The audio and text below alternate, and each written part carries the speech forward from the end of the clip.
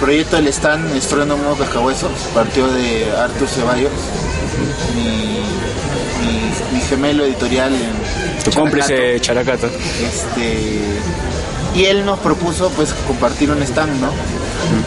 Cosa que en un principio la consideramos de repente un riesgo, pero digamos que a nosotros nos gusta, nos interesa mucho las ferias.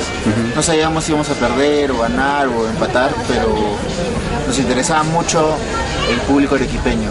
Pues un público lector, hay universidad con facultad en literatura, la, la UNSA. Universidad Nacional. ¿no? Este, y hay una tradición literaria muy fuerte, ¿no? Entonces nos interesaba mucho entrar en contacto con, con ellos. Entonces por eso nos interesó. ¿Y es la, la primera feria de provincias que han venido? O- Eh, hemos participado antes en Trujillo y en Huancayo, pero no en Arequipa. Entonces era una falta de respeto realmente a, a esta ciudad no, no poder venir, ¿no? Entonces, nada, nos interesó, eh, Arthur nos propuso el reto y, y nos fuimos para adelante.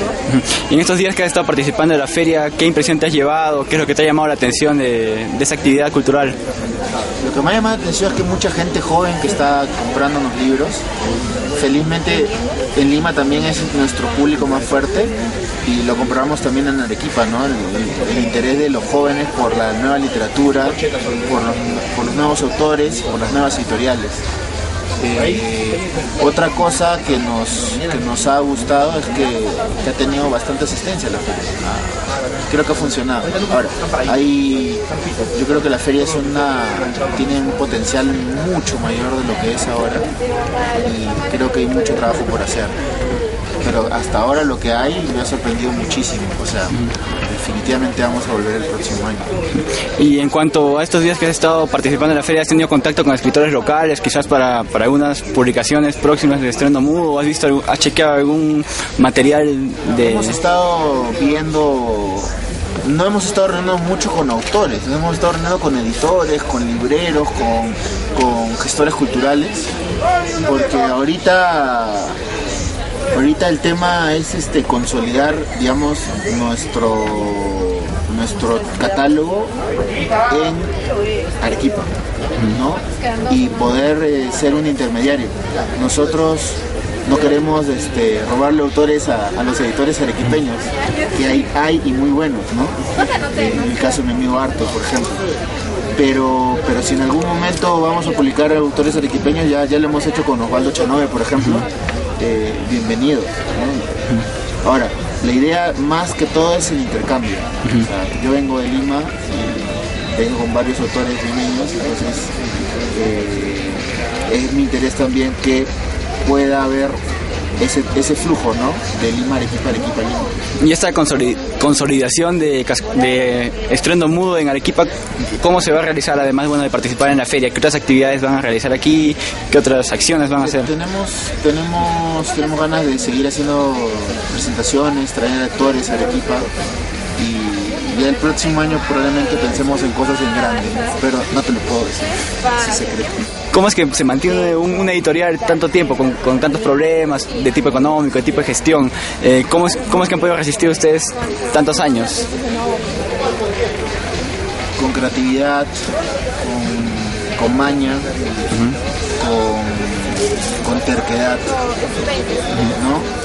Y teniendo la convicción de que la gente sí les interesan los libros. Esa es nuestra idea Sin eso no podemos hacer la editorial.